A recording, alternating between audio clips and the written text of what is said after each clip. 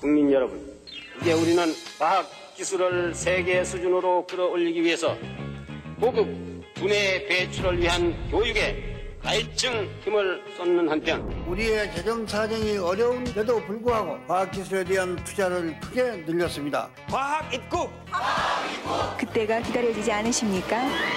한국 최초의 인간형 로봇 휴보가 새해 복 많이 받으세요.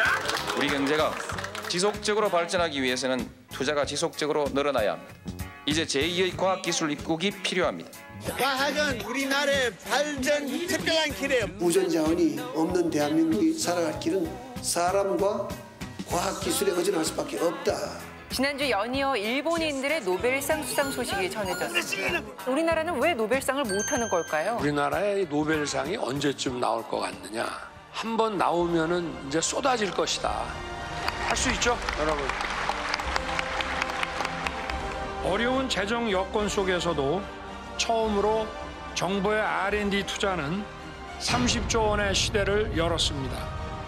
9, 8, 7, 6, 5, 4, 3, 2, 엔진 점화, 이륙, 우리호가 발사되었습니다. 돈을 썼는데 아무런 효과도 나타나지 않은 왜 썼는지 모르는 그런 예산 완전히 제로 베이스에서 재점검 해야 됩니다.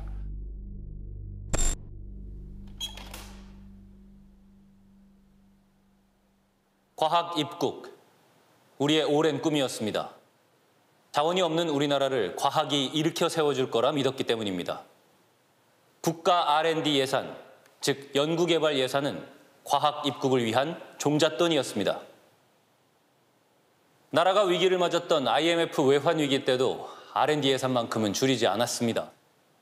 오늘 당장 배가 고파도 미래의 희망을 포기할 수는 없었기 때문입니다. 윤석열 대통령도 과학의 중요성을 여러 차례 강조했습니다.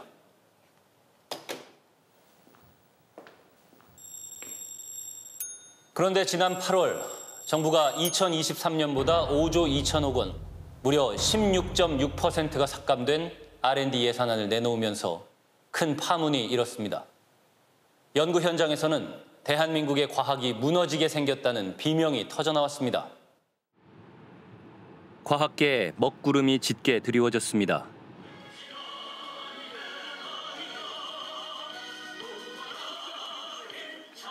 연구실에서만 살아온 과학자들이 겨울비 내리는 거리에 나섰습니다. 시위라고는 해본 적이 없는 과학자들, 머리띠를 조염했지만 모든 게 어색합니다.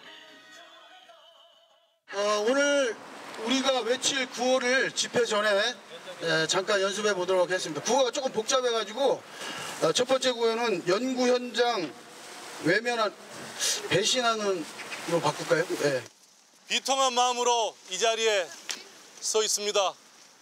대통령의 말 한마디로 국가 연구개발 예산이 5조 2천억이나 삭감되었습니다. 힘찬 투쟁의 함성 발사!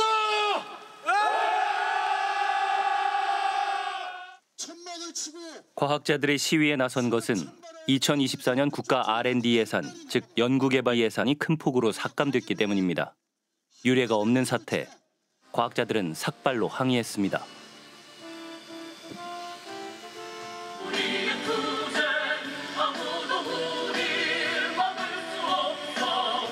저희는 연구 현장에서 긴 세월 동안 주어진 업무에만 몰두해온 순수한 공공연구 노동자들입니다. 그런데 이렇게 비 오는 날 왜 우리가 머리를 깎아야 되는지 정말 억울합니다. 황당하고 당혹스럽죠. 어, 대통령 말 한마디에 에, 이 국가연구개발 예산이 이렇게 삭감이 된다는 것 자체가 말이 안 되는 현실이고 진짜 말씀 그대로 전례가 없는 상황입니다. 윤석열 대통령은 과학 분야에 대한 각별한 관심과 애정을 보여왔습니다. 정말 대통령이 할 수 있는 일 중에 우리나라의 과학 인재들을 이렇게 만나서 아, 여러분을 격려할 수 있다는 것이 아마 가장 보람된 일이 아닌가 생각합니다. 윤 대통령은 해외 순방을 갈 때마다 현지의 과학 분야 석학을 만나거나 연구실을 방문해 R&D, 즉 연구개발 분야의 국제 공동 연구를 제안했습니다. R&D 분야에 과감히 투자하겠다고 여러 차례 밝히기도 했습니다. 존경하고 사랑하는 국민 여러분, 어려운 재정 여건 속에서도 처음으로 정부의 R&D 투자는 30조 원의 시대를 열었습니다. 지난 3월에는 중장기 R&D 전략도 발표했습니다. 향후 5년간 매년 25조 원 이상, 총 170조 원을 투자하겠다는 전략이었습니다. 그런데 지난 7월 R&D 예산에 대한 대통령의 발언이 부정적으로 바뀌었습니다. 자기들만의 카르텔을 구축해서 이권을 나눠 먹는 구조는 철저히 타파해야 합니다. 정부 보조금 나눠 먹기 등 이권 카르텔의 부당 이득을 우리 예산에서도 제로 베이스에서 검토해서 낱낱이 걷어내야 합니다. 이날 대통령실은 보도자료를 냈습니다. 이권 카르텔을 타파하기 위해 과학계의 R&D 나눠 먹기를 걷어낼 방침이라고 밝혔습니다. 이권 카르텔 중 하나로 지목된 연구 현장은 발칵 뒤집어졌습니다. 카르텔이란 단어 자체가 주는 아주 그 저열한 느낌이 있습니다. 쉽게 말해서 저희 연구자들은 자존심으로 먹고 사는 사람들입니다. 그런 분들한테 이런 저열한 단어를 썼다는 것 자체가 상당히 자존심을 깎아먹게 되고 애국심을 줄어들게 만드는 요소라고 봅니다. 이권에 개입하고 뭔가 비리가 있다는 것은 저희들로선 동의를 하기가 힘듭니다. 정말 우리가 생각하는 이권 카르텔이라 그러면은 좀 불법 아니에요 그거는 그래서 법적인 책임을 져야 되는 그런 상황까지도 갈 수 있는 것일 것 같거든요. 그러니까 연구자들이 받아들였을 때 그 카르텔은 그런 수준의 심각하고 무서운 건데 보통 연구자들이 그런 거 안 하거든요. 그러니까 좀 놀란 거죠. 그로부터 약 한 달 뒤 R&D 예산 삭감 방침이 나왔습니다. 정부가 발표한 2024년 R&D 예산은 총 25조 9천억 원. 2023년 R&D 예산보다 5조 2천억 원, 무려 16.6% 삭감됐습니다. 정부가 비효율과 카르텔적 요소가 있다며 결국 3조 원 넘는 예산 삭감과 함께 내년 정부의 연구개발 예산이 3조 4천억 원 줄어듭니다. 윤석열 대통령이 카르텔로 지적했던 나눠주기 사업과 R&D 예산 삭감 소식에 연구원들은 물론이고 이공계 학생들까지 큰 충격을 받았습니다. 농담인 줄 알았어요. 진짜 삭감하겠어. 그런 생각이었는데 저는 진짜 그게 안 믿겨가지고 갑자기 그렇게 말도 없이 한순간에 삭감한다라는 말이 나오고 뭐 연구 카르텔이 나오고 막 우리끼리 연구 카르텔이 뭐야? 몰라. 이러면서 이제 그냥 얘기할 뿐이지. 그냥 그런 게 있대. 그래서 예산 삭감을 한대. 이게 무슨 소리야 하면서 이제 그때는 다 해줄 것처럼 얘기해놓고 우리나라 뭐 과학 선진국 되겠다, 혁신 국가 되겠다, 미래 세대 연구자들이 걱정 없이 연구할 수 있는 생태계 만들겠다 해놓고 16.6% 깎이면 뒤통수를 얻어맞는 느낌? 삭감된 R&D 예산 5조 2천억 원이 대통령이 발언한 이권 카르텔 때문인지 논란이 일었습니다. 삭감된 예산 대상 모두가 카리탈이라 카리텔이라고 우리가 보면 되는지 R&D 카리텔의 분명한 정의와 함께 국민께 분명히 소명해 주시기를 바랍니다. 어, 일단 이제 그 대통령께서 그 R&D 카르텔이라고 말씀하지 않으셨고요. R&D 나눠먹기 근절. 예, 그런 이라고 생각을 하시면 될 것 같고요. 분명히 말씀해 주시길 바랍니다. R&D 카르텔 있나요, 없나요? 아, 정리를 그러니까 불법적인 거예요. 게 지금 나오고 있고 조사를 받고 분명히 있는 R&D 카르텔의 그런 부분은 카르텔입니다. 하셨다고 저는 들었거든요. 예, 그런 부분은 뭐 명확하게 카르텔이라고 할 수 있습니다. 논란이 분분한 가운데 조성경 과기부 차관이 R&D 카르텔의 구체적인 사례를 발표했습니다. 조 차관은 R&D 카르텔이란 R&D 기획 예산 평가에 개입해 이권을 챙기는 행위라고 규정한 뒤 일부 과학자의 일탈 사례와 부정적인 관행 8가지를 소개했습니다. 제가 보기에는 그건 카르텔이 아니고 범법 행위예요. 그런 여덟 가지 경우가 있다면 바로 형사고발을 해서 처벌을 해야 될 일이지 이게 카르텔이다라고 이야기할 문제가 아닌 거죠. 아직까지도 그걸 처리를 안 하고 있어요. 그럼 봐주고 있다는 이야기잖아요, 정부가. 일부의 사례를 가지고 마치 그것이 과학기술계 전체에 만연해 있는 것처럼 과대 포장하고 더 나아가서 설사 그런 사례들이 있다는 것을 인정하더라도 예산을 삭감하면 그게 없어질 수 있을까 도저히 이해할 수 없거든요. 연결되지가 않습니다. 이번 R&D 예산 삭감에서 가장 큰 타격을 받은 곳은 25개 정부 출연 연구기관입니다.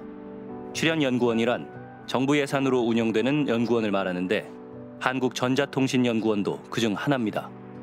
한국전자통신연구원은 반도체, 스마트폰, 디스플레이, 인공지능을 연구해 한국을 세계적인 정보통신 국가로 이끌어온 기관입니다. 한국전자통신연구원의 2024년 R&D 예산은 968억 원, 2023년에 비해 131억 원, 12% 삭감됐습니다.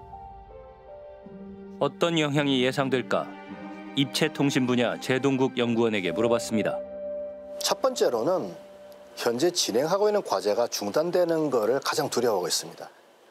그동안에 준비를 해왔던 전체 국가적인 R&D 로드맵이 무너지게 됩니다.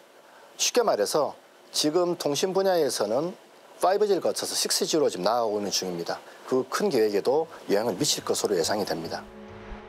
이 기관이 연구해온 홀로그램 핵심 기술 개발은 94% 삭감돼 폐지 위기를 맞았고 인공지능 반도체 응용 기술 개발은 75% 삭감됐습니다.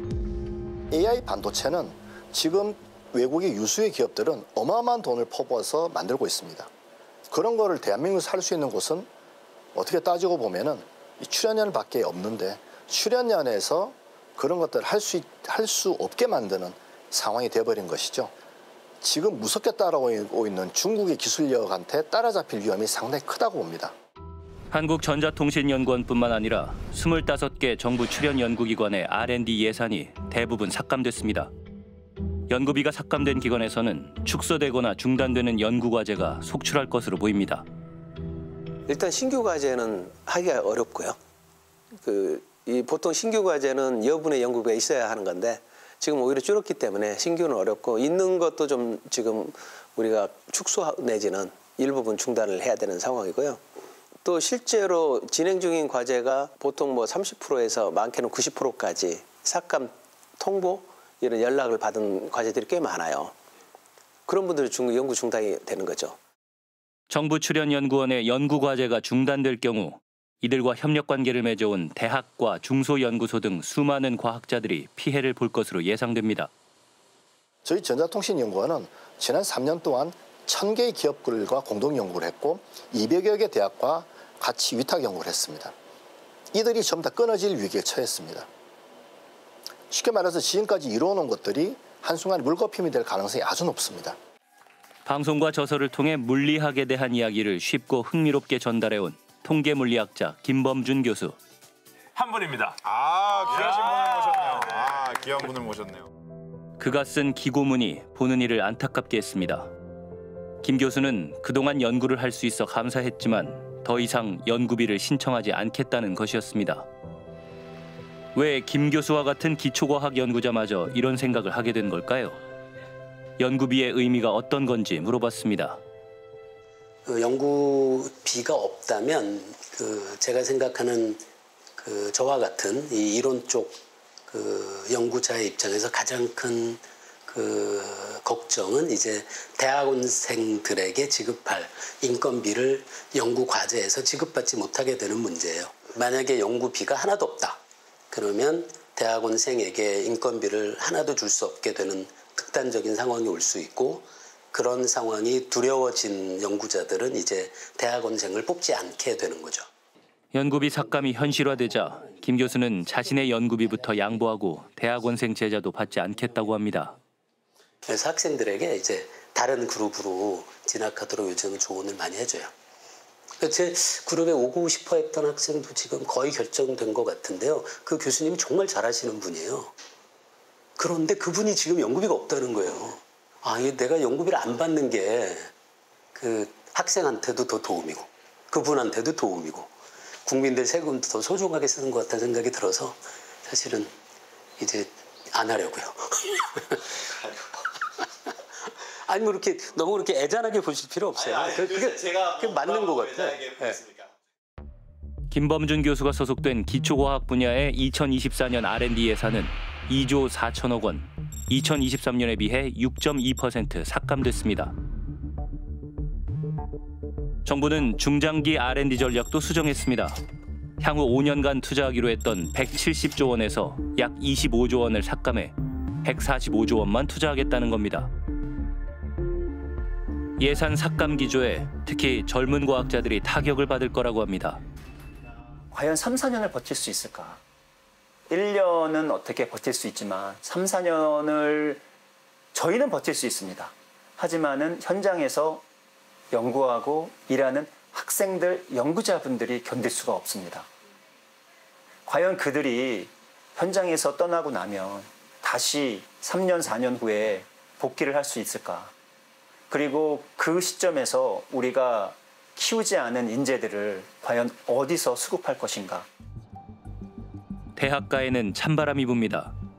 R&D 예산 삭감의 부작용이 이미 나타나고 있습니다.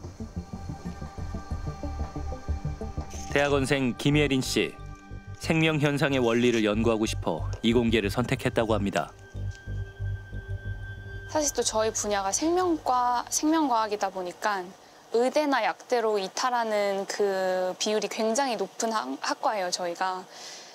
근데 그럼에도 불구하고 왜 계속 과학을 하냐라고 하면 가수들이 노래 부를 때 행복한 것처럼 저희도 그냥 실험하고 연구하는 게 좋으니까 하는 건데 김예린 씨의 수입은 연구과제에 참여해서 받는 연구비 급여가 대부분입니다.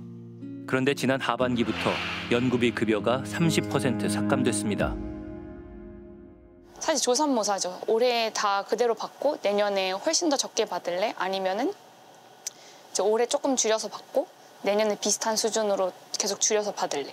그런 얘기를 이제 교수님이랑 했고 불가피하다고 이제 학생들도 다 동의를 했어요. 어쨌든 삭감이 되면은 손가락 빠는 것보다 그러니까 0을 받는 것보다 70이라도 받는 게 낫다. R&D 예산이 삭감되는 것을 보며 학생들은 계속 과학도의 길을 가야 할지 고민이 생긴다고 합니다.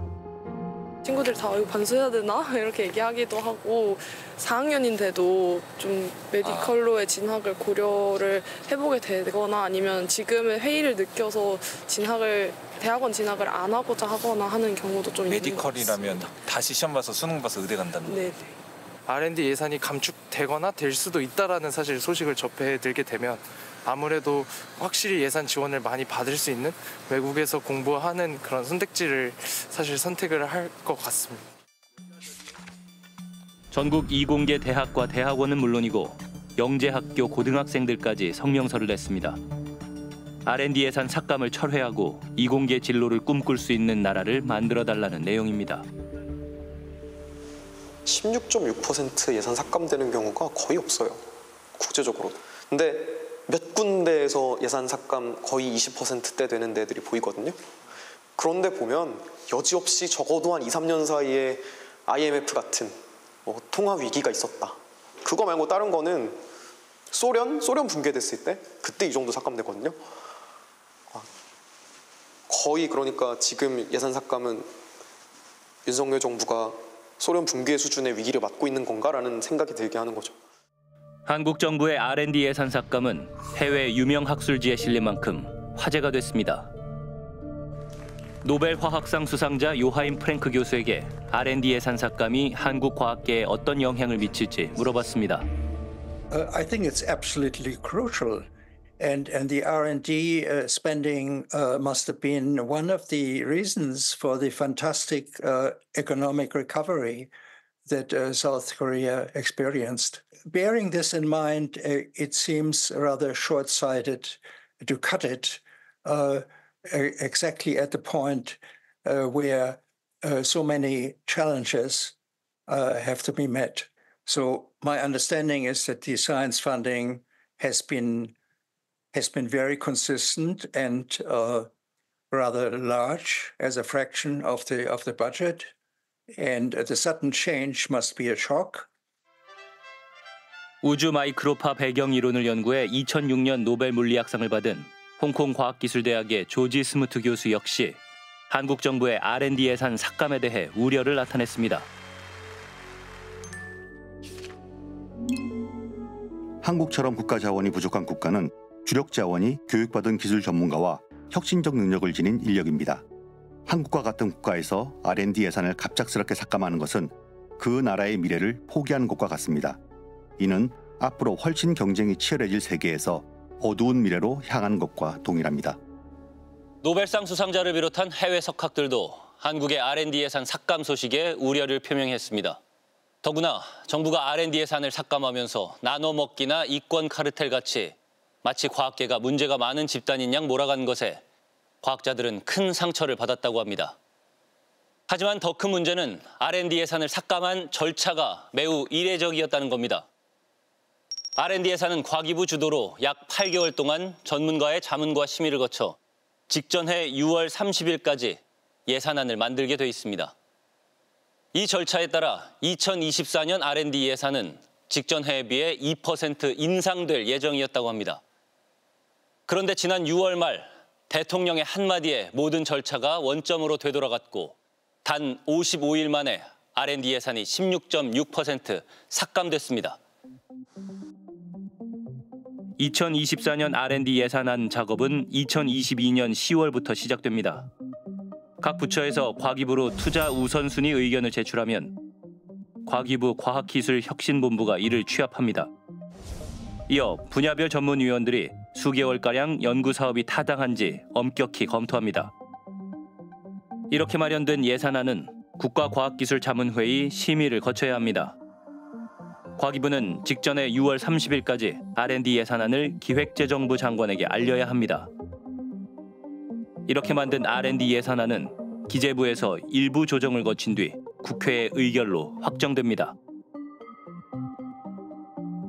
지난 6월 26일 과학기술자문회의가 사전 심의한 2024년 R&D 예산 요구서는 2023년 대비 2% 증가안이었습니다. 법이 정한 절차에 거쳐 6월에 마련된 예산안이 2% 증액된 안이 맞죠? 초, 초기에는 맞습니까? 어 그거는 이제 그 5월 달에 네. 예, 그런 최초 뭐 예산안에 그런 것도 2% 하나의 증액안이 안으로서 맞는지만 여쭤보는 거예요. 예, 그 하나의 안으로서 네. 검토된 이틀 뒤인 6월 28일에 열린 국가 재정 전략 회의. 윤석열 대통령은 국가 R&D 예산을 재검토하라고 지시했습니다.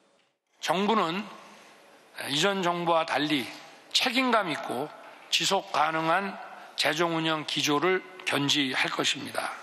돈을 썼는데 아무런 효과도 나타나지 않은 왜 썼는지 모르는 그런 예산 이런 것들은 완전히 제로 베이스에서 재점검 해야 됩니다.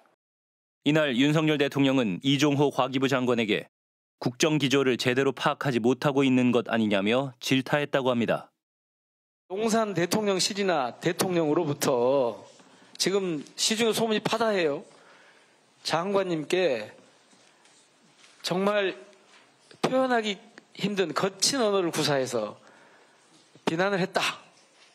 그냥 뭐 회의에 참석해서 의견들을 의견들을 뭐 여러분들의 아니 그냥 일상적으로 들었습니다. 국무회 그런 사- 수준이 아니고 어떻게 저런 말을 쓸 수가 있지 싶을 만큼 거친 언어로 장관님을 비난했다 라고 하는 얘기가 지금 과학기술계에 파다해요. 있었습니까 없었습니까? 재정전략회의에서 여러 가지 의견들을 제가 잘 경청했습니다. 대통령의 재검토 지시에 전문가들의 검토를 거쳐 약 8개월 동안 수립된 R&D 예산안은 무효화됐습니다. 3월에도 그렇고 5월에도 그렇고 계속 그 관계 부처하고 과기정통부가 협의를 계속합니다. 사실 그렇게 해서 만들어진 어, 원안이 있는 거죠. 6월 30일 날 그 국가심에 올라가려고 했던 그게 이제 또 과학기술기본법에 되어 있는 절차와 일정이고 근데 그거를 이제 국가재정전략회의에서 대통령 한마디에 모든 게 뒤집어져 버린 거죠. 국가 R&D에 대해서 대통령님은 어떤 생각을 가지고 있습니까? 2019년부터 3년 동안에 20조가 30조로 이제 늘면서 에, 우리가 성장 동력을 창출해 내는데 에, 좀 미흡한 점이 많다는 지적이 있었습니다. R&D는 R&D답게 R&D 예산은 R&D에 써야 된다 하는 그런 에, 우리가 좀 그 예산 항목과 그 취지에 좀 충실해야 된다라고 생각을 합니다. 이른바 R&D를 R&D답게 하기 위한 예산 수정 작업이 시작됐습니다. 대통령이 재검토를 지시한 다음 날 과기부는 산하기관에 업무 협조 문건을 보냈습니다. 경쟁률이 저조한 사업, 나눠먹기 뿌려주기식 사업, 자체평가 하위 10% 사업은 삭감하라는 내용입니다. 기한은 7월 3일까지 단 나흘이 주어졌습니다. 너무나도 황당했던 거죠. 6월 30일 날이면은 예산이 좀 확정된다고 다들 알고 있었습니다. 그런데 바로 이틀 전에 다시 재검토하라는 지시가 내려온 바람에 현장에서는 6월 30일이 되기 2시간 전에 내려왔습니다. 다시 검토해야 한다더라. 이거는 느끼는 첫 번째 감정은 배신감이죠.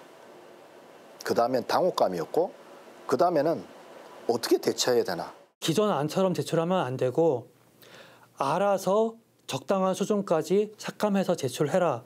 라는 식으로 기관에 통보가 왔습니다. 기관에서 뭐 2, 3일 내로 갑작스럽게 급조해서 삭감된 안을 제출하면은 이걸로는 부족하다. 더 해와라. 마음에 들 때까지 다시 해와라.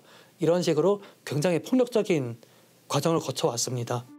이뿐이 아니었습니다. 과기부는 삭감안을 올린 산하기관에 예산안 삭감 이유를 스스로 제시하라고 요구했습니다. 그러니까 참 그게 얼마나 저기 그 비극입니까? 논리를 만든다면 삭감 한 사람이 만들어서 해야 될 거 아니에요. 이, 이렇게 표현하더라고요. 때려놓고 맞은 놈한테 당신이 맞은 이유를 제시해줘 이렇게 얘기하는 것 같다고 표현을 하더라고요. 근데 맞은 사람은 이유를 모르겠어요. R&D 예산을 늘리겠다던 윤석열 대통령은 왜 갑자기 삭감 지시를 내린 걸까? 2022년 11월 30일 대통령은 과학계 원로들과 간담회를 가졌습니다. 간담회에서 과학계 원로들은 R&D 과제 배분 시 나눠먹기식으로 진행되는 경우가 있다고 지적했고 대통령은 과기부 장관에게 개선을 당부했다고 합니다.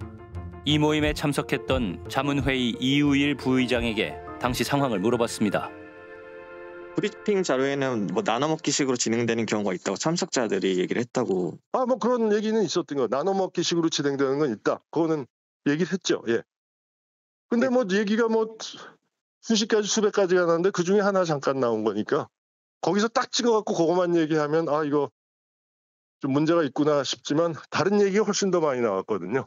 그 뒤 대통령실 최상목 경제수석 주관으로 R&D TF팀이 만들어졌다고 합니다. 안녕하십니까 저희 MBC PD수석팀입니다. 저희 올해 초에 그 대통령실에서 그 후보자님 주관으로 R&D, R&D 관련 TF팀 꾸려졌다고 하는데 사실입니까? 네, 그거는 뭐 R&D의 어떤 개혁 방향 이런 거에 대한 의견을 듣기 위한 거였습니다. 그때 그 TF팀에서 나온 안이 지금 R&D 삭감안에 좀 근간이 된 것인가요? 아닙니다. 그때는 안을 만든 게 아니고 그 당시 어떤 문제점 아마 그때는 그 문제점이나 이런 것들을 정리한 거였지 그 안을 만들기 위한 건 아니었습니다. 네. 그 나눠먹기식 낭비 사업 때문에라고 하셨는데 그 어, 전반적인 삭감이 이루어진 건 왜인가요? 문제가 되는 부분에 관리 청문회에서 답변했기 때문에요. 답변했기 그렇게 아. 하겠습니다. 당시 윤석열 정부에는 R&D 예산에 관한 두 가지 서로 다른 견해가 공존한 것으로 추정됩니다. 과기부는 6월까지 법규에 정해진 절차에 따라 약 2% 증가안을 마련했지만 대통령실 TF팀에서는 R&D다운 R&D를 위한 예산 삭감 움직임이 있었던 것으로 보입니다. 그럼 대통령이 지시가 있었고 대통령실에 TF가 만들어졌으면 R&D 예산의 편성 방향과 구체적인 지침, 그렇죠?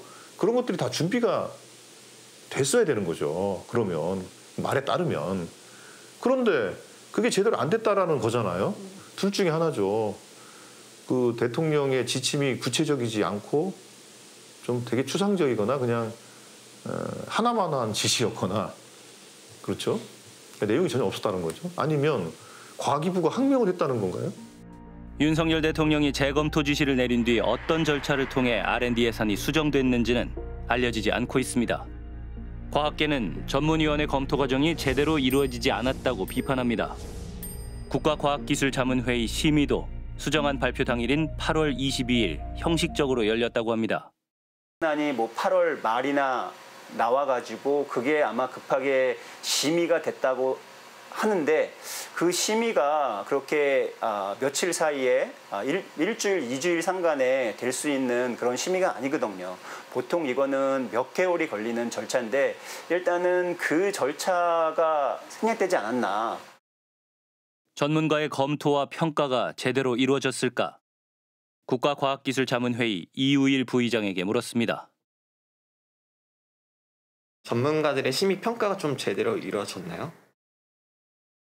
원래 어, 그래서 굉장히 굉장히 노력을 했죠. 그, 그, 그러니까 시, 시기가 이제 짧았잖아요. 예.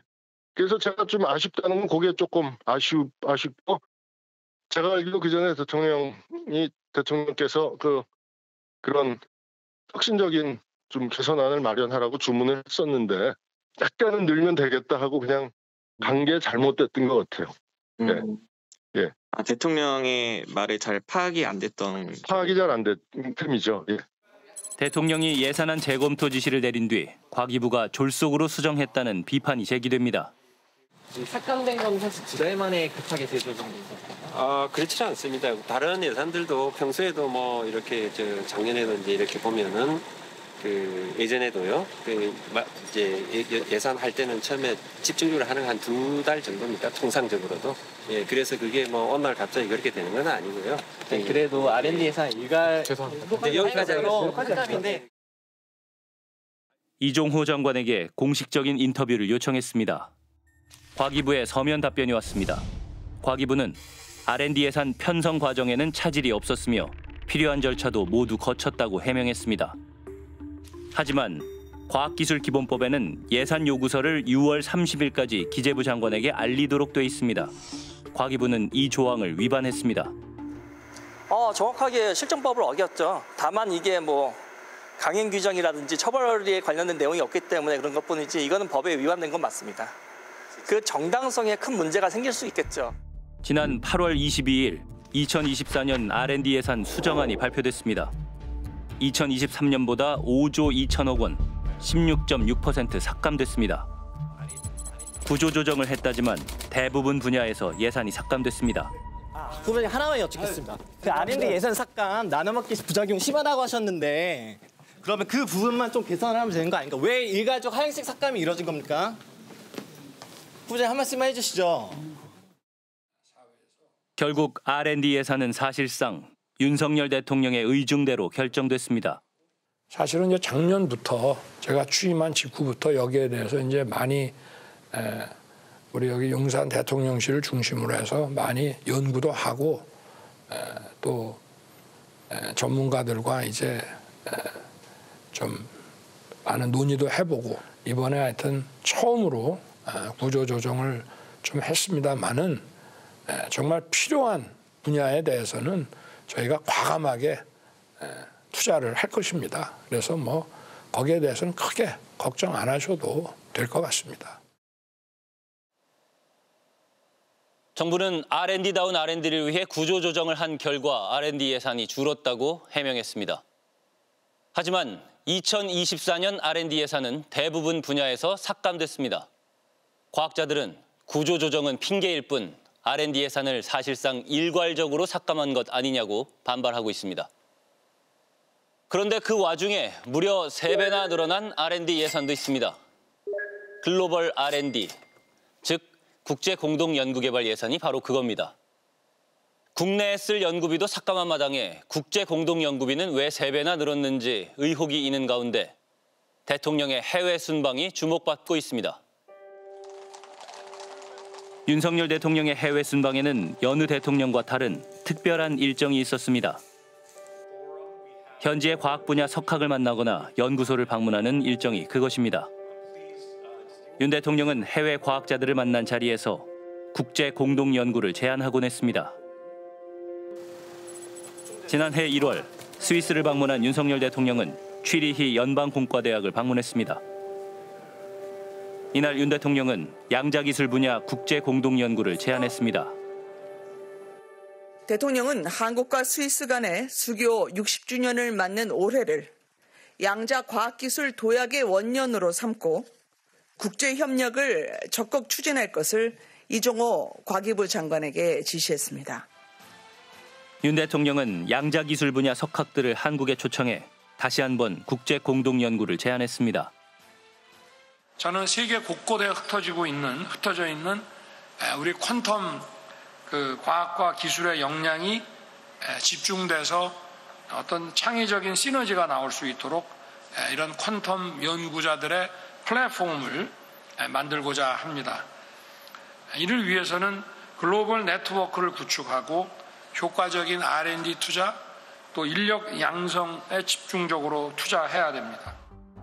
대통령이 강조했던 양자 기술 분야 2024년 R&D 예산은 1,252억 원, 15.9% 증가했습니다. 국제 공동 연구는 자발적이어야 됩니다. 필요해서 하는 거고요. 내 기술을 가지고 내 국제 공동 연구자가 새로운 분야를 창출할 수 있다거나 아니면은 나에게 새로운 연구 계획을, 연구 아이디어를 줄 수 있다면은 그거는 서로에게 이득이 되는 거죠. 그럴 때는 연구를 진행할 수 있습니다. 하지만 단순히 국제 공동 연구 예산이 있다고 해서 국제 공동 연구를 하는 그러한 형국은 예전에도 저희가 실패한 사업들이 꽤 많습니다. 지난 6월 28일 국가재정전략회의 R&D 예산을 전면 재조정하라고 지시했던 그날 윤석열 대통령은 글로벌 R&D, 즉 국제 공동 연구를 확대할 필요가 있다고 강조했습니다. 그리고 바로 다음 날 과기부는 산하기관에 업무 협조 공문을 보내 글로벌 R&D를 확대하라고 통보했습니다. 연구 현장에 혼란이 벌어졌습니다. 그거는 과연 어떤 의미일까? 아마 그 연구자들은 다들 고개를 갸우갸웃하면서 어, 이, 여기서 글로벌이란 말이 붙으면 나보고 어떻게 하라는 거지? 그럼 누군가 외국의 연구자를 어, 아주 지금 직접적으로 필요하지는 않더라도 일단은 한번 컨택을 해서 이름도 넣고 어, 같이 뭘 한다라고 이걸 만들어야 된다는 뜻인가? 거의 뭐 하루 이틀 안에 예, 외국하고 예, 협력 뭐 이런 부분을 만들어내야 했던 뭐 그런 일들이 있었다고. 2024년 글로벌 R&D 예산은 무려 1조 8천억 원.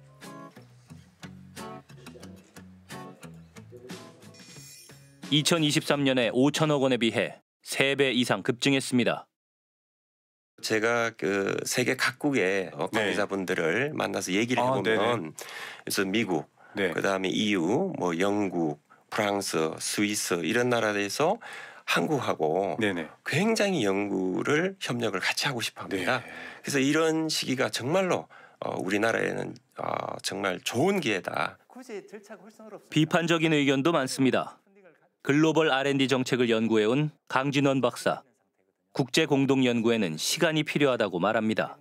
선을 보고 결혼하, 결혼하기까지 어, 서로를 알아, 알게 알아가게 하고 그다음 데이트도 하고 이렇게 하다가 나중에 결혼을 하게 되는 것처럼 서로 어느 정도 알게 되면 아 그럼 요 정도의 연구는 같이 할 수 있겠다. 그랬을 경우에 이제 공동 연구 사업을 실제로 이제 아까 말씀드린 것처럼 상호 호혜적으로 우리도 펀딩을 대고 상대도 펀딩을 대고 이렇게 일단 맺- 맺어지는 결혼을 하게 되기까지가 제가 볼 때는 최소한 아무리 그래 짧아도 한 2, 3년은 걸릴 것 같고요. 사업마다 다르지만 더 긴 건 훨씬 더 많이 걸릴 수 있겠죠. 뿐만 아니라 정부는 해외 연구기관이 우리나라 R&D의 주관 기관으로 참여할 수 있도록 규정을 개정하겠다고 밝혔습니다. 아, 저는 프랑스, 베트남, 인도네시아, 미국, 영국 등 순방 계기마다 미래 세대를 만나 아, 그들의 혁신과 도전을 국적에 상관없이 뒷받침하겠다고 약속한 바 있습니다. 지난주 샌프란시스코의 에이펙에서도 아, 미래 세대 연구자들이 세계적인 연구자로 성장할 수 있도록 아, 국적과 상관없이 지원하겠다고 약속했습니다. 해외 연구기관이 한국의 R&D 사업에 직접 참여하도록 허용하겠다는 겁니다. 우리나라 전체 연구 성과가 줄- 연구 예산이 대폭 줄어든 상태에서 해외 기관들에 이렇게 예산을 퍼주는 게 맞는가?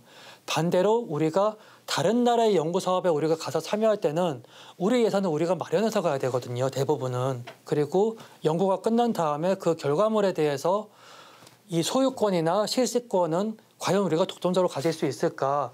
이것도 해외에 다 뺏기게 되고 결국은 예산 유출, 기술 유출 이런 형태로 어, 마무리되는 굉장히 어, 안 좋은 정책이 아닐 되지 않을까.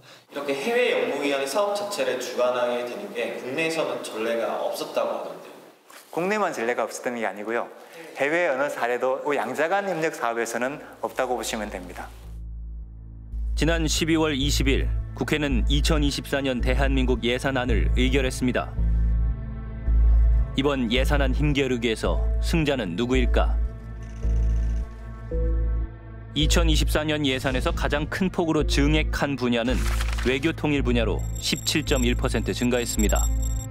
가장 큰 폭으로 감소한 분야는 14.7% 감소한 R&D 예산이었습니다. 그래서 정부의 정책 우선순위는 정량적으로 명확하게 드러납니다. 내년도에 우리나라가 가장 필요한 것은 일단 외교, 특히 해외 원조가 우리나라에서 가장 필요한 것이다라고 정부는 말을 하고 있고요.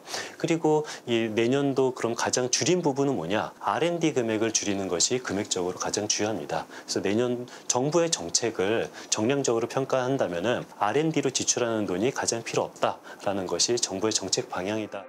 R&D 예산은 그나마 국회 조정 과정에서 정부안보다는 6천억 원 증액됐습니다. 하지만 2023년에 비해 4조 6천억 원이 감소해 14.7% 최종 삭감됐습니다. 참 죄송하죠. 저 현장의 연구자들한테. 음, 실제로는 최소한 1조 5천억 정도는 증액을 했어야 되는 것인데 근데 정부가 워낙에 또 완강했기 때문에 그 정도로 복원하면 R&D 예산을 삭감했던 그 논리들, 뭐 카르텔이든 비효율이든 이런 논리가 다 깨지게 되지 않겠습니까? 그러니까 절대 받을 수 없다는 입장이었어요. 과기부는 PD 수첩에 증액된 6천억 원으로 젊은 연구자를 두텁게 지원하고 기초 연구 사업 분야의 예산을 전년 대비 1.7% 늘렸다고 알려왔습니다. 젊은 연구자와 기초과학 분야 예산이 다소 증액됐지만 전체 R&D 예산이 큰 폭으로 삭감되면서 입은 타격을 만회하기에는 많이 부족하다고 합니다. 저희가 생각하기에는 밑장을 빼가지고 위에다 올려놓고 그거를 선전하는 거예요. 근데 밑에는 지금 골마 터졌거든요. 왜냐면은 과제가 보통 3년 아니면 5년이라는 연구 기간이 있는데 재작년에 선정됐던 사람들, 그 이전에 선정됐던 사람들이 계속 과제라는 것을 하고 있을 거 아닙니까? 그 계속 과제를 하는 사람들 중에서는 신진 연구자도 많기, 많이 있겠죠. 그 계속 과제들의 연구비를 다 일괄적으로 삭감을 한 거예요. 자기가 연구를 3년, 5년 하, 는 걸로 funding을 땄기 때문에요. 네. 그 신진들은 음. 연구비가 깎이는 거죠. 계속 과제의 연구비를 깎으면은 실험실이 와해가 됩니다. 이러한 실정을 지금 어, 정부에서는 일단은 눈 감은 척하고 자꾸 어, 대외적으로 신진 세력들의 support를 늘리겠다. 지금 이렇게 얘기를 하니까는 저희는 지금 답답한 거죠. 2024년 R&D 예산 삭감 파동을 거치면서 과학자들은 더 이상 정부의 과학 정책을 믿을 수 없게 됐다고 말합니다.